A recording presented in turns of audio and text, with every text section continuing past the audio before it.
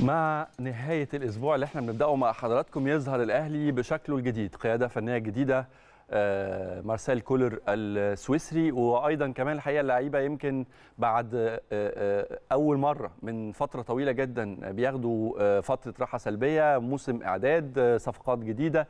يظهر النادي الأهلي إن شاء الله نهاية الأسبوع ده في بداية المباريات الودية في مواجهة بتروجيت بشكله الجديد وإن شاء الله يكون موسم موفق للنادي الأهلي. هنتكلم أكتر على المنتظر.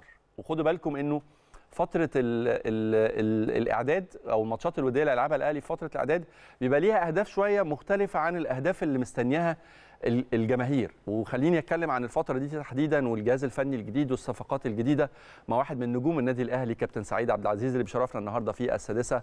مساء الخير كابتن سعيد. مساء النور يا أستاذ أحمد. سعيد طبعا موجود مع حضرتك. منور الدنيا ومشرفنا في السادسة. وما تأخرناش عليك اهو. لاتيني لاتيني. لاتيني لاتيني برازيلي. أنا وأنت اللي هنشيل المسؤولية.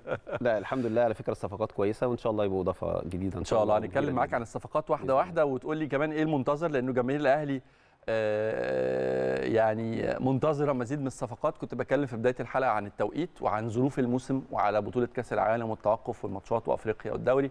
هتكلم معاك عن ده. بس خليني أبدأ بمارسيل كولر. وانتوا حتى وانت في ال... وانت بتلعب في النادي الأهلي وف... وانت بتلعب في أي فريق عمو- عموما يعني.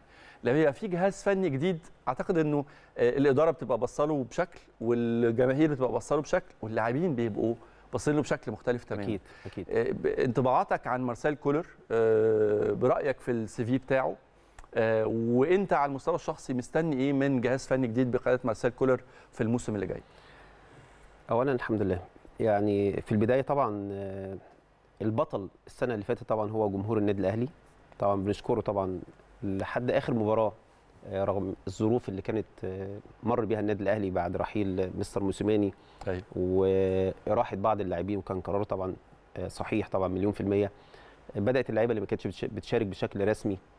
بعض الناشئين اللي شاركت في في الماتشات الجمهور لحد آخر مباراة يا أستاذ أحمد موجودين ورا ورا الفرقة؟ كان الأهلي صحيح بيلعب لغاية آخر نفس على لحد آخر بس نفس. ده ده ده العادي وده الطبيعي وده المنتظر من جمهور الأهلي يا كابتن سعيد. والله في أوقات فرق بتزعل أوقات يعني. طبعا انت أنت ال- أيوه. ال- ال- السنة اللي فاتت كل معظمها ما كانش فيه استقرار. آه. فموسيماني استفاد بالبطولات أيوه. لكن اللي عانى جمهور النادي الأهلي ورغم كده هو الوحيد اللي كمل مع الفرقة لحد آخر مباراة. فطبعا هو البطل الحقيقي الموسم الماضي الأهلاوي. بجد يعني الأهلاوي بجد عمره ما بيزعل من النادي الأهلي ولا من فرقة النادي الأهلي ولا من نجوم النادي الأهلي ولا من إدارة النادي الأهلي ممكن أزعل على لكن أيوة. ما زعلش من في فرق كبير جدا صح ولا إيه؟ بيزعل على فيه؟ على ضياع البطولة آه، و... وللاسف كده. يعني آه. إحنا حتى احتفالاتنا إحنا في النادي الأهلي بتختلف عن احتفالات ال- الفرق الأخرى فده اللي مم. ممكن يعمل حتة أيوه الزعل شوية مم. لكن أنا شايف هو البطل الحقيقي هو آه، جمهور النادي الأهلي